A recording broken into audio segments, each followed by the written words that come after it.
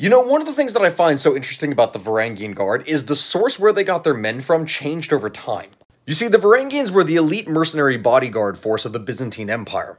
A tradition which dated all the way back to 988 AD when the Byzantine Emperor Basil II got these mercenary forces from the Kievan Rus. So the majority of these forces in the beginning were a mix between Nordic and Slavic men that came from this region.